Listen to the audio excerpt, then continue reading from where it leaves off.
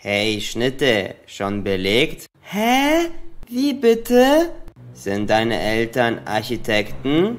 Oder warum bist du so gut gebaut? Nein, mein Papa ist Buchhalter. Du bist so süß. Wenn ich hier stehen bleibe, bekomme ich Diabetes. Was ist Diabetes? Bist du Google? Nein, ich bin Lisa. Weil du bist alles, was ich gesucht habe. Lass mich in Frieden. Aua, mein Herz.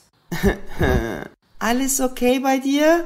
Ich glaube, ich brauche eine Mund-zu-Mund-Beatmung. Nein, auf keinen Fall. Aber dann sterbe ich vielleicht. Pech gehabt. Hab ich da Mund-zu-Mund-Beatmung gehört? Ja, der da braucht eine. Äh, nein, danke. Mir geht es schon besser.